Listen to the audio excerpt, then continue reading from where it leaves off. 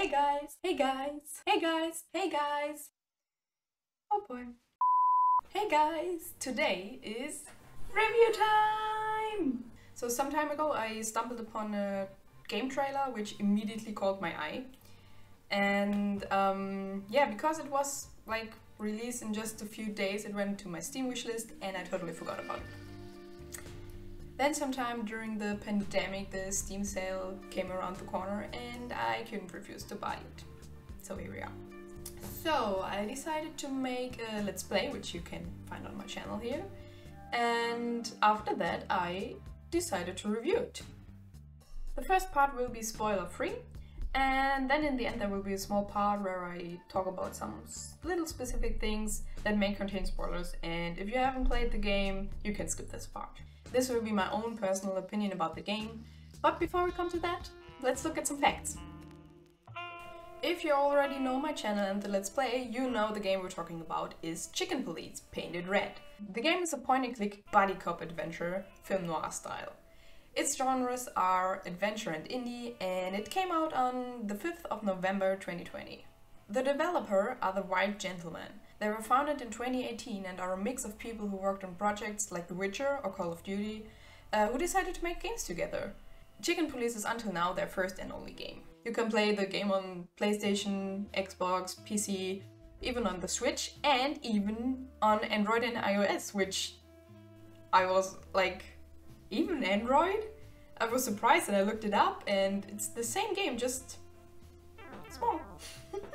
The price of the game is uh, 19.99 euros and I think I got it on sale for like 12 euros or something like that. The game is synchronized only in English, but there are subtitles available in 8 different languages. The usual playtime is about 7 to 9 hours. I played 20. but I'm a completionist and I like to get in every detail, try to have a conversation with every of the characters and I talk a lot. So if you have watched the Let's Play, I tend to wander off a bit. I don't know if Natasha is really the victim here, or if we like discover something a whole different than that. And I think it's very cool that they have a demo up on Steam, which uh, you can download and just, you know, try it out. Okay, let's get to the game itself. Welcome to Clawville. In Chicken Police, we will dive into the dark and mysterious world of the city of Clawville. Clawville is a big city in the world referred to as the wilderness. The inhabitants of the world are hybrids of humans and animals. Therefore, there are some yeah, conflicts that lie in the nature of nature. But I've never been into cats, you know. As a dog, we are playing as Santino Sonny Featherland, who is an old, burned out, and almost retired cop. On one night we are visited by a mysterious lady with an even more mysterious case for us. And we can't go on this adventure on our own. So we pay a visit to our young and enthusiastic partner Marty MacChicken. Yeah, that's his name. At first he's not that convinced. We had our little arguments in the past, but um, in the end he's willing to revive our dynamic duo called the Chicken Police again. Okay, now we're going through some aspects which you get my personal opinion about and since we need a rating system, I will introduce the chicken scale.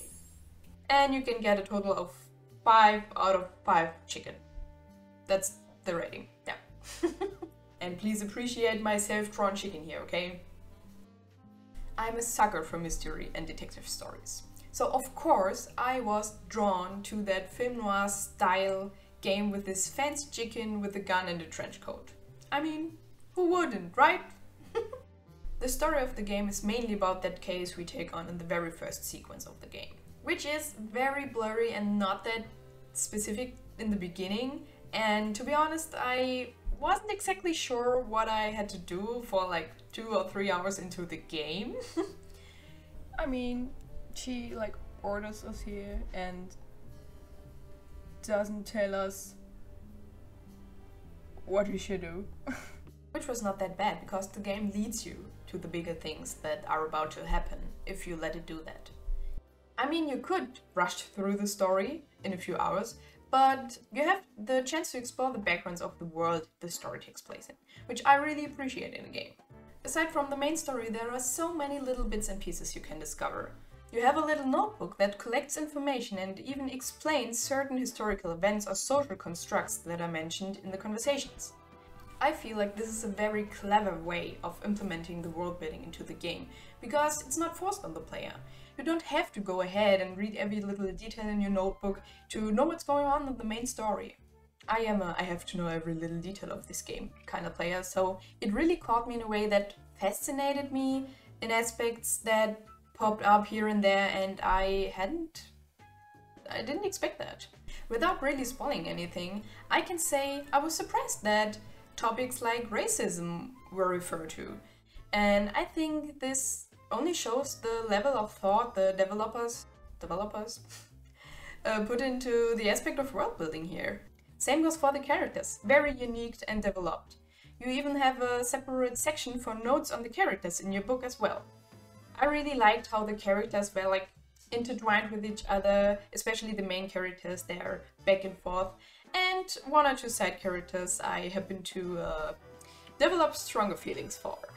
okay, let's get back to the main point I was trying to make here.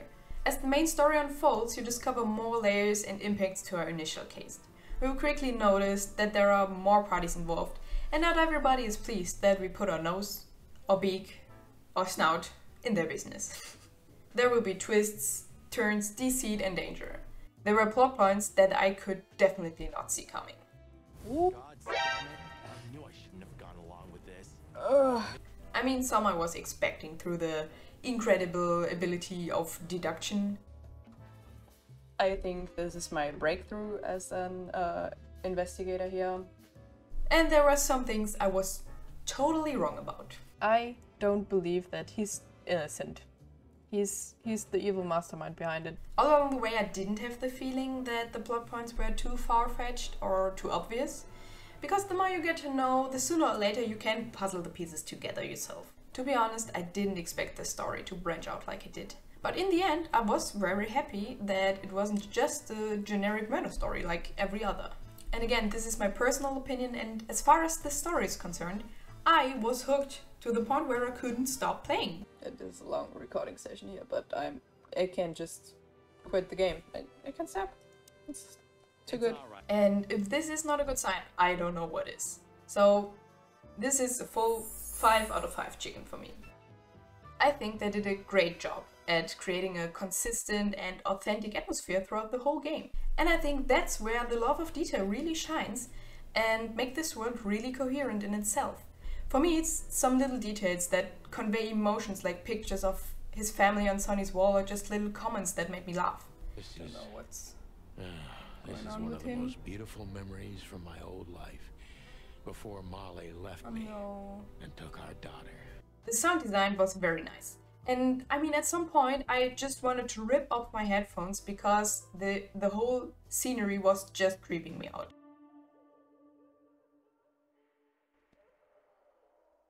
The sound, oh my god, it gives me the creeps in here. Let's let's get out of here. Although the game being really dark and literally not very colorful and bright, it surprised me with such a humor. I mean, yes, there were many bad animal puns, She bears with him.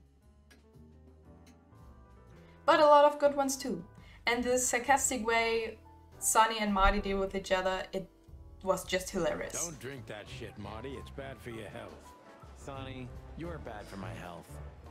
The sarcastic or sometimes even cynical tone of Sonny and Marty sort of diffused the seriousness of it all, without making it look silly at all.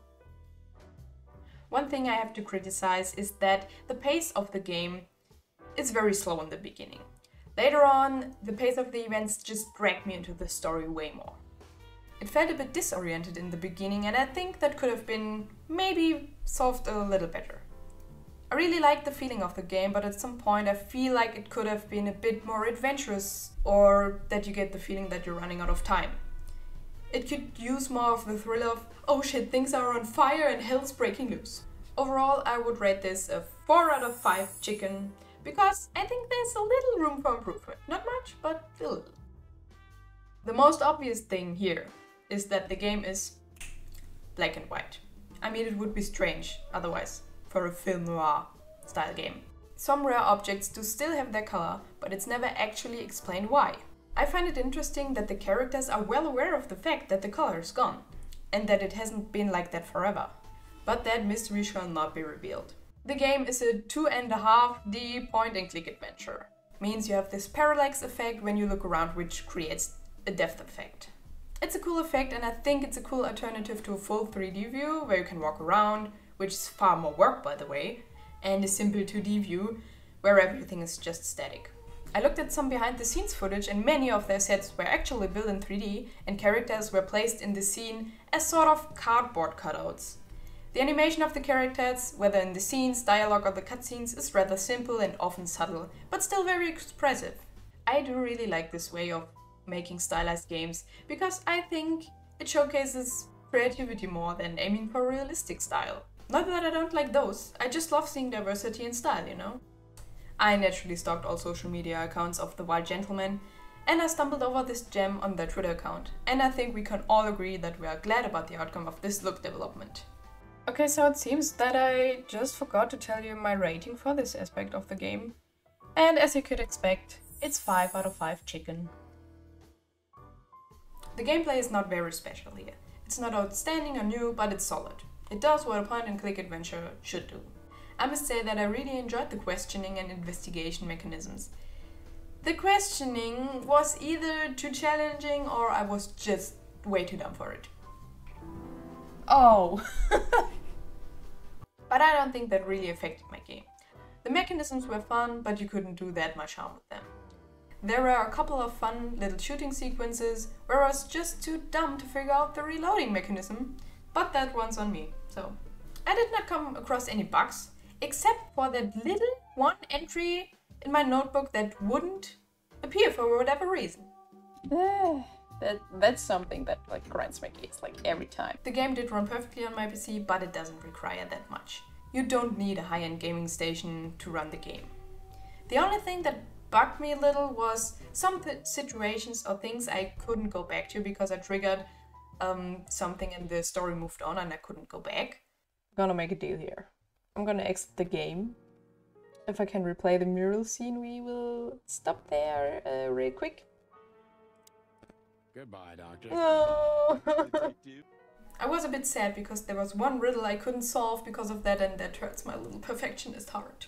Since almost everything worked the way it should, there was no confusion with controls or how the game should work, I will give it 5 out of 5 chicken. The game did a good job guiding you through the story.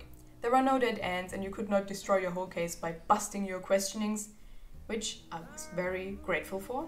You could get more or less information out of them, but that's about it.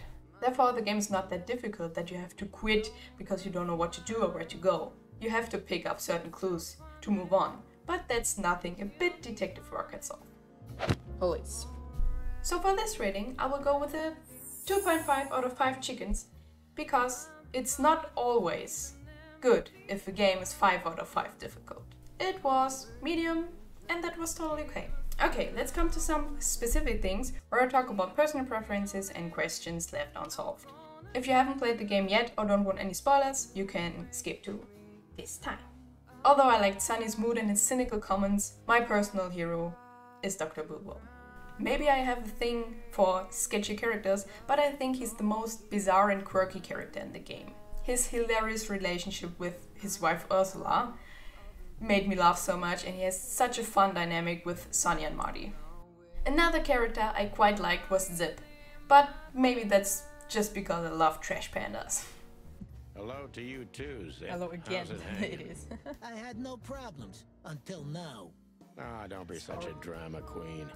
He has his little paws in more dark affairs than we might expect, but I believe deep down he's a good guy who keeps getting dragged in shady business. On the other hand, I was not the biggest fan of Natasha. I mean, I get it, she's mysterious and so on, but in the beginning it was quite some work to get information out of her, which is strange because she hired us to investigate, but didn't tell us what. In the end, I think she could have given us more to work with without being too obvious or too sketchy to Ibn. And yeah, there were some things I didn't completely understand in the end. For example, the whole thing with Sonny's wife or ex wife, Molly. Yeah, it was a sad story which belonged to Sonny, but it almost felt as if she would play a bigger role in the story than she did in the end. Maybe it was just build up because in the end credit scene she actually reaches out to us. And we don't know if there will be a part 2 and they just wanted to leave some options for them to work with. And now for the only thing that will probably haunt me forever, my dear friend Louis. I was so sure about him being the evil super brain behind all this. Because he was always there and being super sketchy. I mean, that was supposed to be a red herring and I totally fell for it. Which means they did a good job misleading me. Congrats, you got me. So, if you couldn't already tell, I really enjoyed that game. I'm a sucker for dark detective stories and funny animals, sarcasm and interesting visuals, so maybe this just hit the mark for me. All in all, the game got a 5.75 out of 5 chicken for me. There were some minor things that bugged me, but all in all, this was a really good experience. I would be really thrilled if they produce at least one more game of this series. If you're interested in the game, there's a demo available, go check it out. Or watch my Let's Play if you haven't already done that. I try to be funny, I promise. So the bar is very high for what's coming next. I had a lot of fun creating this Let's Play and this review, and I'm very curious for what's about to come next. I hope you enjoyed my personal review of Chicken Police Paint it Red, and I will definitely plan to do more reviews, that was fun. So stay tuned. Have a nice day, and until then, bye! With this fancy, fancy